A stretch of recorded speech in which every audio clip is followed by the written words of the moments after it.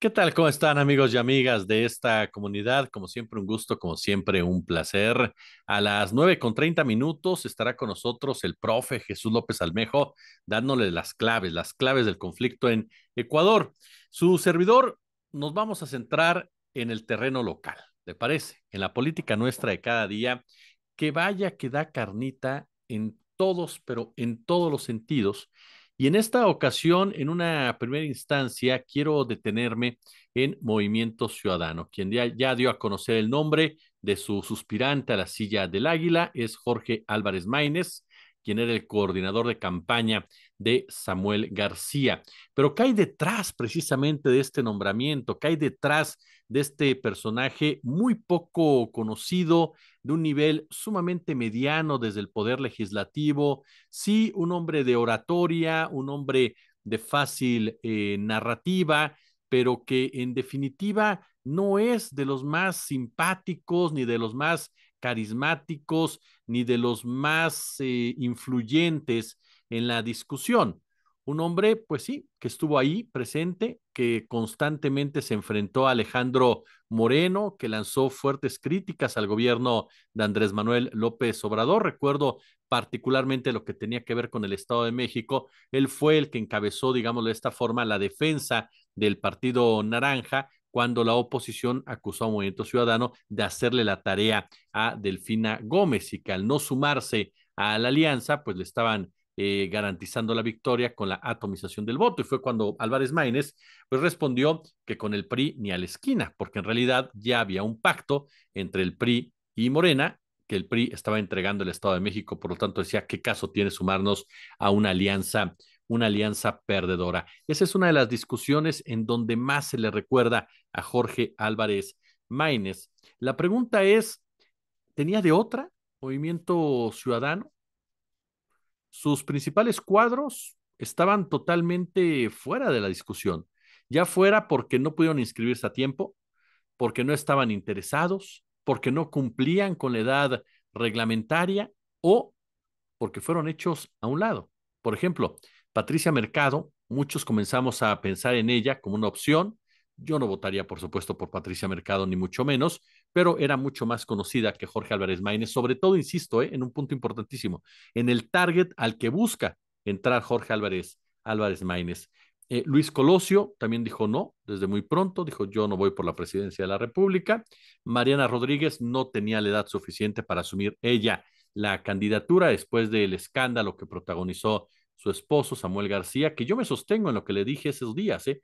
una pésima operación política de Samuel García que demostró su profunda irresponsabilidad, pero no podemos dejar de lado que lo que hicieron el PAN y el PRI fue una verdadera chicanada, una verdadera extorsión al más puro estilo mafioso, gangsteril, que ahora, gracias a que Marquito Cortés pues dio a conocer sus acuerdos, se pudo confirmar en papel, porque antes pues era obviamente la declaración, eh, el análisis, la opinión, pero en este caso ahí están las formas y las maneras en cómo llegan acuerdos el PAN y el PRI, sobre todo faltando el respeto a las instituciones públicas y a la separación de, de, poderes. Por eso no dudo en lo mínimo cuando Samuel García denunció que el PAN y el PRI lo que estaban haciendo era chantajearlo para permitirle que compitiera por la elección presidencial. Le estaban pidiendo alcaldías, secretarías, al, eh, notarías y demás, ¿no? Hoy por hoy me parece que la razón la tiene Samuel García. Ahora, ¿eso convierte a Samuel García en un gran político? No. ¿Eso convierte a Samuel García en un estadista? No. ¿Eso exime a Samuel García de los errores que cometió para poder construir y consolidar su, su, su candidatura? Por supuesto que no. Se juntó el agua con el aceite, el hambre con las ganas de, de, de comer.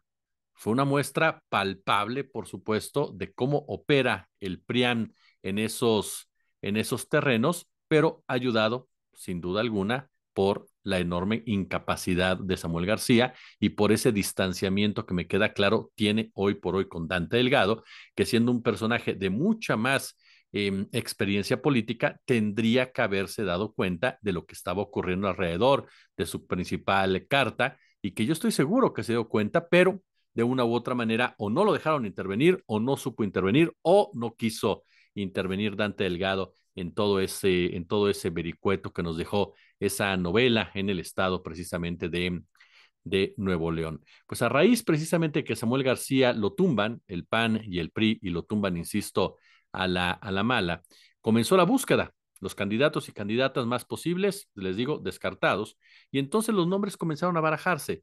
Dante Delgado como la primera opción, mucha gente apostaba abiertamente que era Dante Delgado, incluso recuerdo un posteo de la abogada Vanessa Romero en donde aparece Dante Delgado con el sombrero negro, el saco y demás, eh, caminando rumbo a un destino.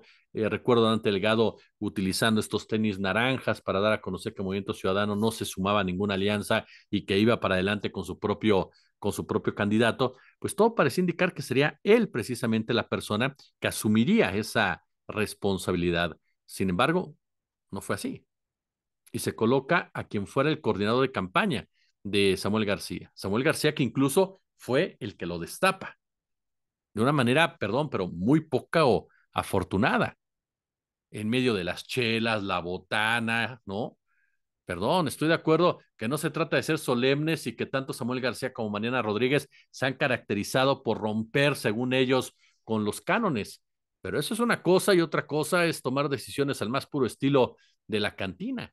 Ahora, ¿sorprende? No, no sorprende, porque a final de cuentas, Samuel García, Mariana, el propio Álvarez Maínez, pues son muy banales, son una generación política extremadamente banal que considera precisamente que la mejor manera de llegarle a una audiencia, ni siquiera votante, porque ellos lo ven como una audiencia mucho más joven, pasa precisamente por la irreverencia.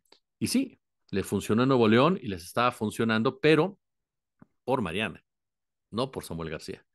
Perdón, Samuel García era un meme, un meme político, es un meme político. Samuel García era la botana, en pocas palabras si lo sabré yo que a través del personaje de Pechocho nos divertimos muchísimo durante varias semanas cuando presentábamos a este carismático luchador en la octava, ¿no? Samuel García era cliente frecuente por las cosas que hacía y, decía.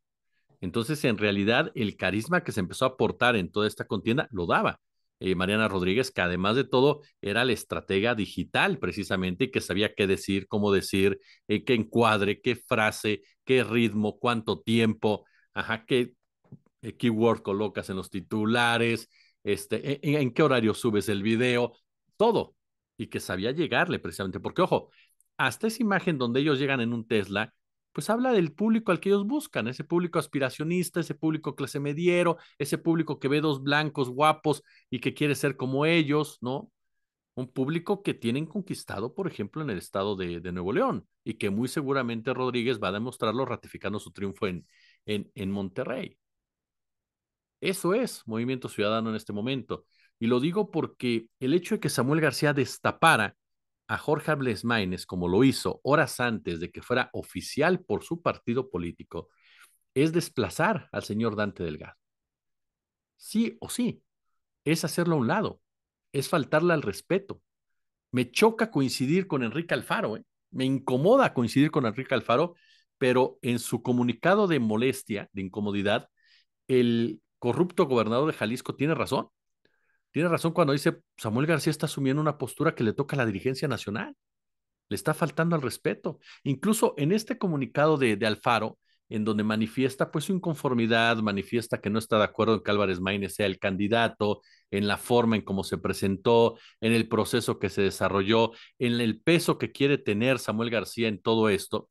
Eh, Alfaro da la impresión de que está defendiendo a Dante Delgado, con quien ha tenido serias diferencias, con quien ha tenido fuertes enfrentamientos, a tal grado que cuando Dante Delgado decide no unirse al Frente Amplio por México, o Fuerza y Corazón por México, o Sí por México, como ustedes quieran, el que lo critica es Alfaro.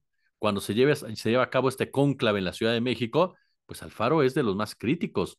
Incluso Alfaro se reunió con Xochil Gálvez para mandar un mensaje de que él estaba a favor precisamente de sumarse a la candidatura de la, de la panista.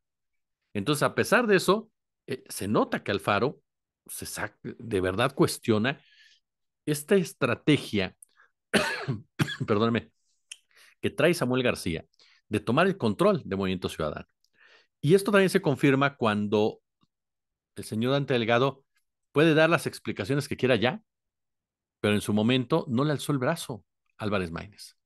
Dejó que fuera otra persona. Hoy por hoy hay una disputa muy clara en Movimiento Ciudadano. Nuevo León contra Jalisco.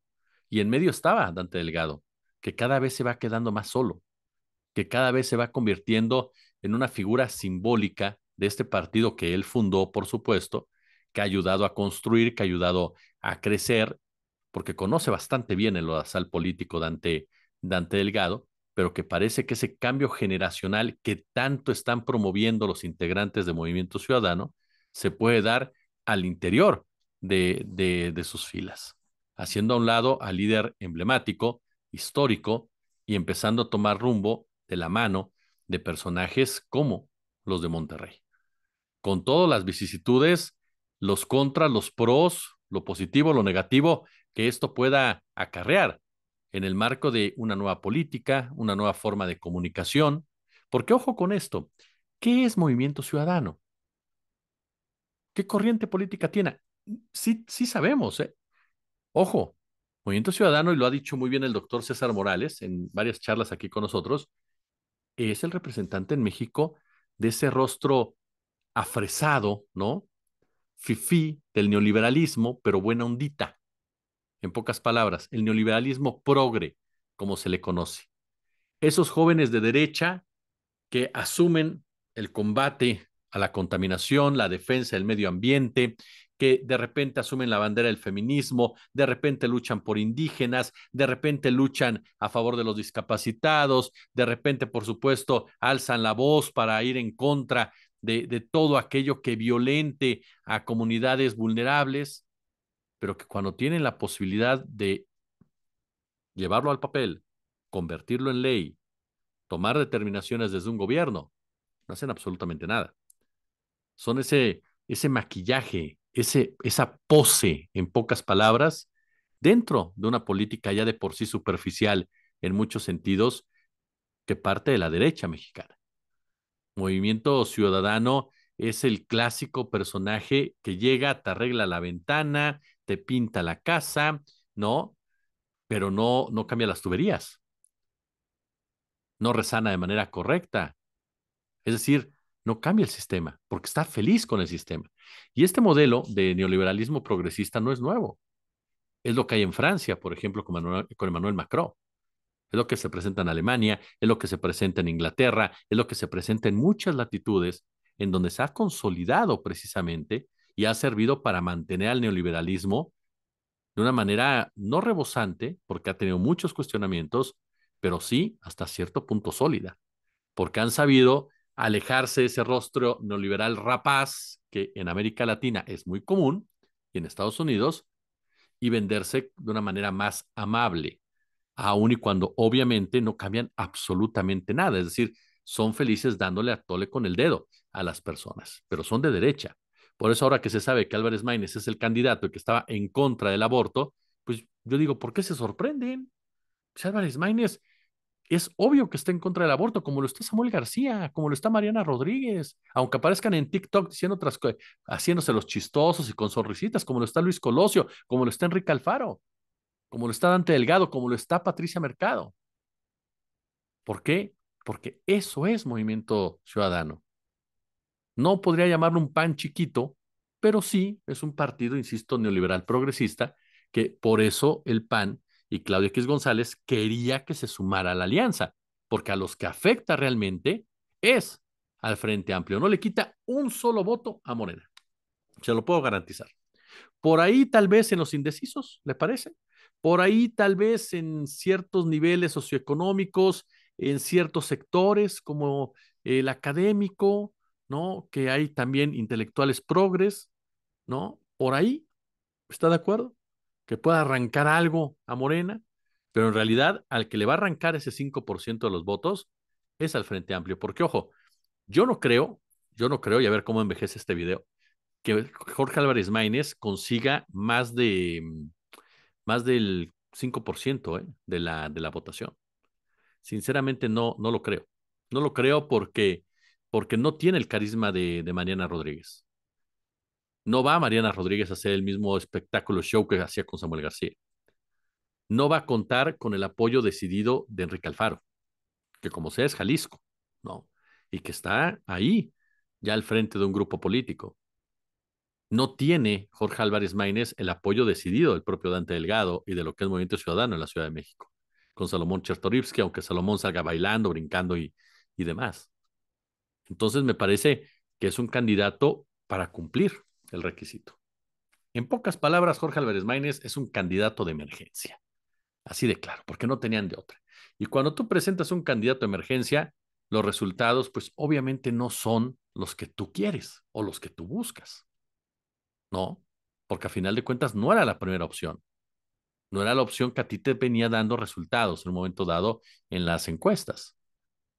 Entonces veremos cómo se maneja. Por lo pronto ha empezado a lanzar ya críticas, eh, comentarios en contra de Xochil Gálvez, en contra de Claudia Sheinbaum por el tema de los gastos, por el tema precisamente de, dice él, de la incongruencia, de la hipocresía, cuando, caray, ¿no? Álvarez Maínez era priista, ha brincado en diferentes puestos, es un hombre que no tiene una, um, un compromiso ideológico, este, más allá, por supuesto, el de sus propios intereses y de lo que, insisto, representa el Partido Naranja.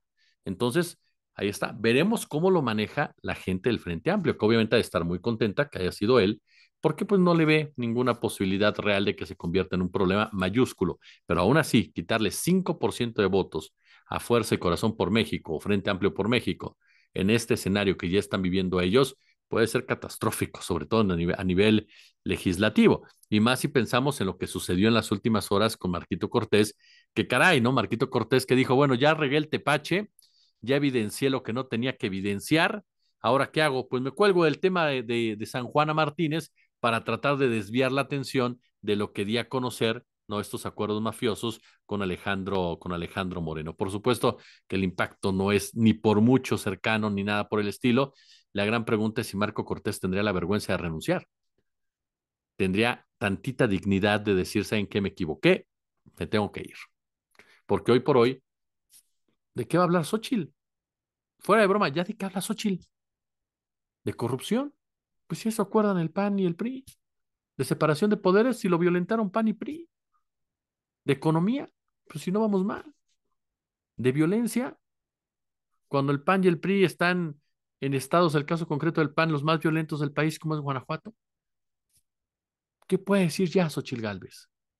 Marquito Cortés le puso un verdadero, pero verdadero clavo a un ataúd que cada día se va confeccionando más y más rápido. Esa es la verdad. Veremos qué pasa. Hoy Felipe Calderón todavía mandaba esta encuesta que a mí me encanta, de verdad me encanta cómo la oposición, eh, cómo la oposición se aferra a Massive Caller como la única encuesta válida, pues la única que les da chance, que ahora dice que ya está como a dos puntos Ochil Galvez de Claudia Sheinbaum, ¿no? Y, yo entiendo, y les voy a repetir algo, entiendo a la oposición. Ellos saben que no pueden darse por vencidos tan pronto.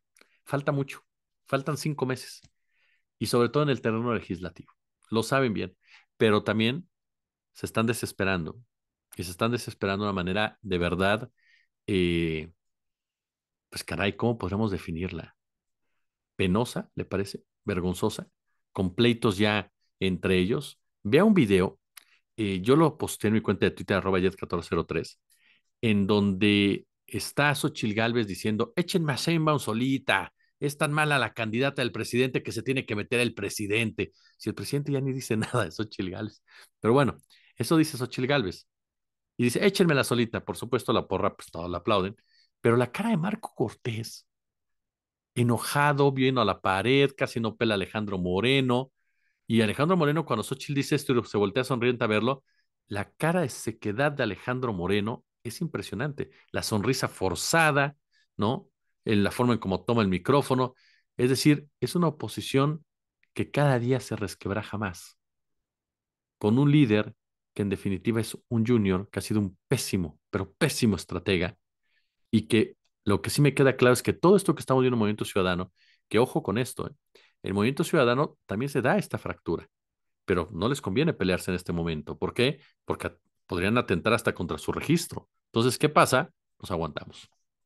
Nos aguantamos, por supuesto, y vamos directamente después de estas elecciones, entonces sí, dice Dante Delgado, vamos a dirimir con Samuel García, vamos a dirimir con Enrique Alfaro, quién se va a quedar con el control de este partido político y hacia dónde va a ir este partido, partido político. Uno. Dos, ya le hemos hablado de lo que podría pasar con el PAN.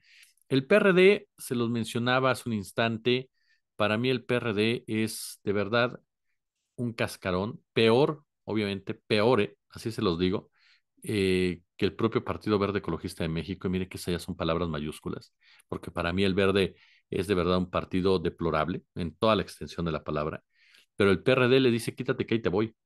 El PRD lo sumaron pues para dar esta impresión de tener a alguien de izquierda en el frente, cuando en realidad el PRD tiene décadas de que no es de izquierda, ¿no? Desde que Andrés Manuel López Obrador decidió moverse y fundar Morena, se acabó la izquierda en el PRD. Los chuchos simplemente son personajes eh, acomodaticios, corruptos, personajes que negocian la política, que hacen dinero con los bienes públicos, personajes que se convirtieron en lo que decían combatir. Jesús Ortega y Jesús Zambrano han demostrado la pobreza de sus conceptos, de sus congruencias, de sus ideologías, de sus posicionamientos. Bueno, ni siquiera llegan, por supuesto, a un estatus de un Enrique Dussel, por ejemplo, ¿no? O de un Héctor eh, Díaz Polanco, o de una Berta Luján, o de un que le gusta, mucho menos, claro, ni hablar de Cuauhtémoc Cárdenas o del propio presidente Andrés Manuel López Obrador. Los chuchos se quedaron como esos líderes de tribus, tipo Amalia García, por ejemplo, ¿no? Carlos Navarrete, de esos personajes que crecieron al amparo de estos líderes históricos y que a final de cuentas, eh, cuando se van los líderes históricos, pues estos demuestran que siguen siendo solamente, solamente comparsas y se cambiaron de bando, pudriendo al PRD. Ahí tiene usted este comentario. Si les gustó, pulgar arriba, por supuesto. Déjenos su comentario, déjenos su punto de vista. Suscríbanse, por favor. Suscríbanse a nuestro canal. Ya sabe usted también algo que es fundamental, denle a la campanita. Y algo que nos interesa muchísimo, eh, por favor, este canal de YouTube que se llama arroba Mr. Está defraudando gente ofreciéndoles premios. Ninguno es falso, ninguno es verdadero. Ningún premio que les ofrezcan, ninguna información que salga de ese canal, ya lo denunciamos nada de que salga ese canal, ajá, es veraz, ni está vinculado con su servidor, ni con nadie, aunque tenga la foto de perfil de su servidor. Así que por favor les pido que lo denuncien ante YouTube. Como siempre un gusto, como siempre un verdadero, pero verdadero placer.